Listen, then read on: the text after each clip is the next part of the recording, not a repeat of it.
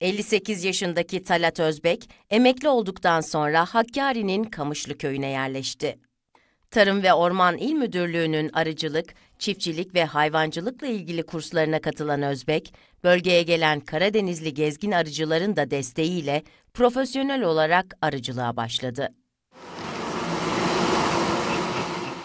Armut ve elma bahçeleriyle üzüm bağında meyve yetiştiren, aynı zamanda küçükbaş hayvancılıkla uğraşan Özbek, köydeki öğrencilerin eğitimlerine de katkı sunuyor. Bu ürünleri satıp ve bu satmayı da e, komisyon üretip bir komisyonun nezdinde satıp bu paraları da o köyde okuyan öğrencilerimize burs olarak destek olarak veriyoruz. Bu da bir üretim zihniyeti oluşturuyor gençlerimizde ve görüyoruz çocuklar ihbarın geliyor ve bizim eğitim e, alanında çalışma yapıyor. Çalışıyor, üretiyor ve alıyor.